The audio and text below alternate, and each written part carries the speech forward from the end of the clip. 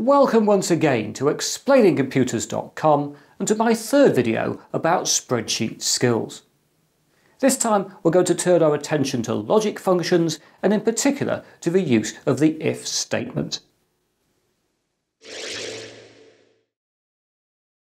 Right, here we are back in a spreadsheet and as usual in these tutorials I'm in the freely downloadable OpenOffice Calc but you can do what I'm doing here with logic functions in any spreadsheet including Excel Google Sheets, LibreOffice, etc. So what we're going to do initially is to show you how to use a simple if statement. And to show that I've set up a small spreadsheet with some candidates' names who've all taken an exam, the mark they've obtained, and I've put some information over here to remind us what should happen, which is where people get less than 40 in this test, they should fail. If they get 40 or more, they should pass. And we're going to use the spreadsheet to work out whether people have passed or failed. So to do that, I'm going to go to cell D6, I'm going to type equal if to open up an if statement and open up a bracket. And then I have to tell the spreadsheet what the condition is that we're going to look at, something that can be true or false, and then what happens if something is true and what happens if it's false. So here I'm going to say if C6, I'll click on C6, is less than 40, that's our condition. I'll then enter a semicolon. I'll then enter a text label to say we want to display fail if they've got less than 40, another semicolon, and then another text label for pass, and then we close the bracket. Now I should just point out that the format of the if, where you have if, condition, true and false, is the same in any spreadsheet, but the syntax is very slightly different to the extent that if you're in OpenOffice or LibreOffice, you put a semicolon between the different parts of the conditions, if you're in Excel or Google Sheet, you put a comma between the different parts of the conditions. Yes, that's very annoying to remember. It happens to be the way things are. We just have to live with it. Anyway, I'll press enter and that'll work out that uh, Sally Smithers has passed. I'll think I'll just center that, look a bit better, and I can copy that down as we did in the very first tutorial, and it'll work out who has passed and who has failed. And of course, if Sally Smithers had a mark of, say, I don't know, 12, we would just prove this works, it would change from pass to fail, but do not worry, we'll put her back again, so she's still going to have a pass.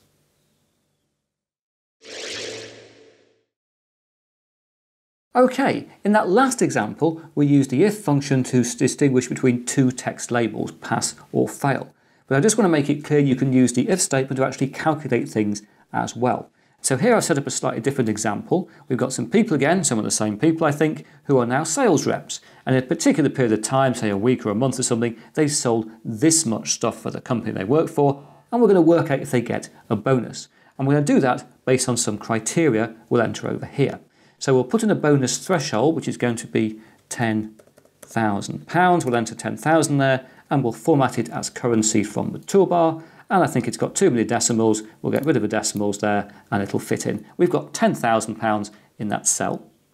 And the bonus percentage, as in the amount of money they're going to get as a bonus, is going to be 1% of what they've earned if they've earned more than 10,000. So I'm going to put in 0.01, which represents 1% as a multiple in there. And then I'm going to format that as percentage, again going from the toolbar. So there we've got things set up, but again I think I'll get rid of our decimals from the toolbar, make it look a bit neater. Right, let's write an if statement.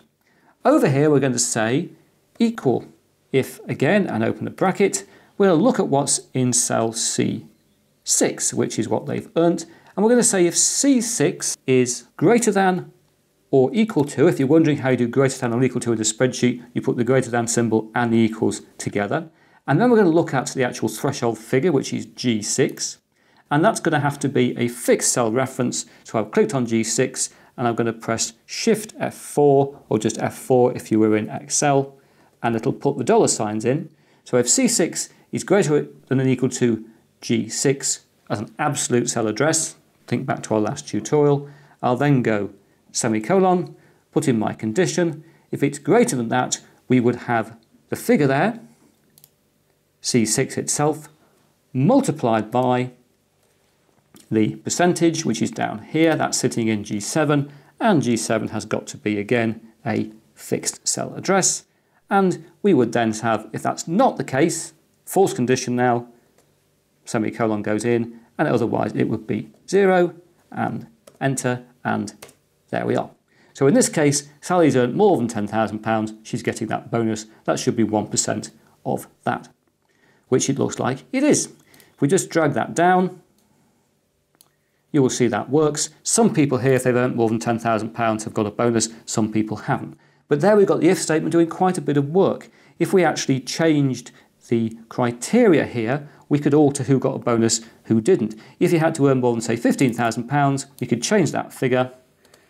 That would change who got a bonus. Uh, if we change the bonus percentage, maybe that was um, 0.02 in there, then again, the bonus would change. So there, we're using an if statement to do something quite powerful.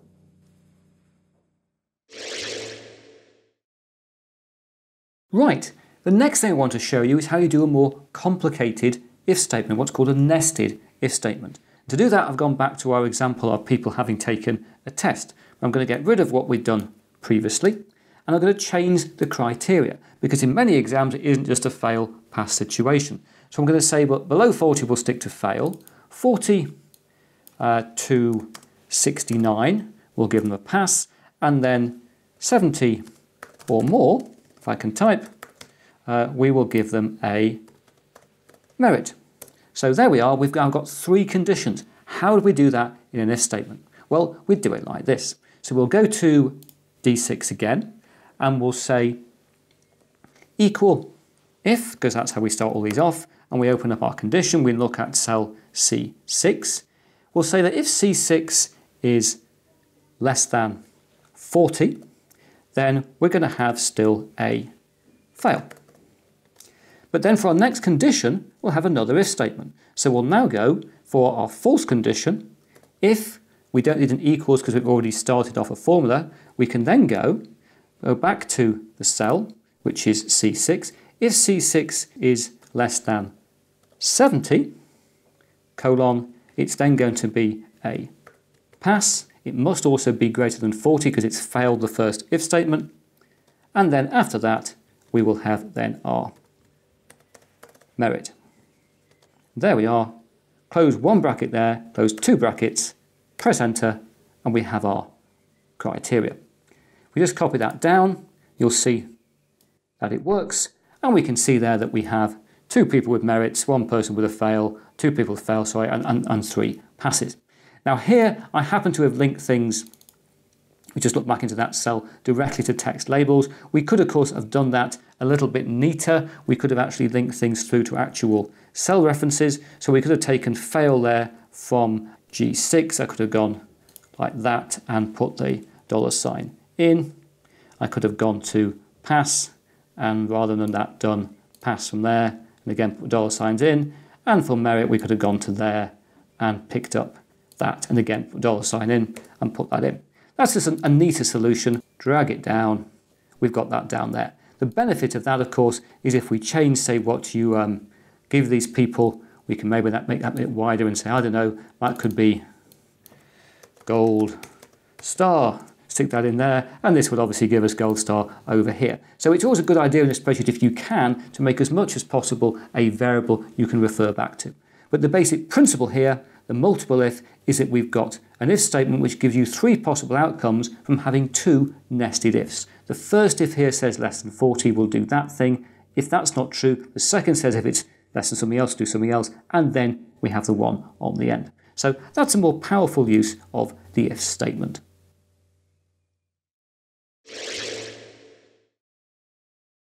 Right, here we are again. In this final example, I want to show you what you would do if you need to use and or or statements inside an if statement. This is getting quite tricky.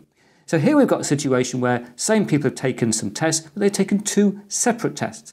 And the criteria I've written down we've got to fulfill is people have got to pass both components to actually pass the actual overall whatever it is they happen to be doing. Maybe it's something to do with their careers as, as sales reps. Anyway, if they get less than 40 in either component, they've got to fail, otherwise they pass. So how do we do that? Well, there's various ways we could do it. One way to do it is to use an AND statement inside if. So we could go equal if, we've been doing that a lot here, haven't we? And then we'll put an AND. And inside the AND, we're going to put C6, which is our first mark, has got to be greater than or equal to 40. They've got to pass that bit. And then our semicolon, and then C D6 has got to be greater than or equal to 40. If both of those conditions are met, close off our AND statement, we then go semicolon and go pass. I won't bother picking up labels here, and then we'll go fail, close things off, and enter. That should work it out. Again, we'll drag it down, and you will see we have pass or fail, etc. This person's passed them all, that person's got fail there, fail there, um, etc. It's worked it out. There are, of course, many ways to do anything in life. There's always more than one way to cook a cat, as they used to say. So if we get rid of that, another way we could have done this would be to use an OR statement. We could have gone equal if and looked at um, OR. And inside the OR we could have gone something like, say, C6 is uh, less than 40 and then D6 is less than 40. So if either of those is less than 40, we will say then fail, otherwise pass. And enter that, and it should give us, I would hope, exactly the same result. But what we've done there is to show you the use of putting an AND or an OR statement inside an IF statement.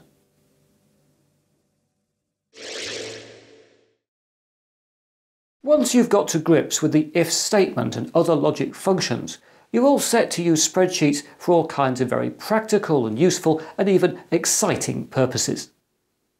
But now that's it for another video, and I hope to talk to you again very soon.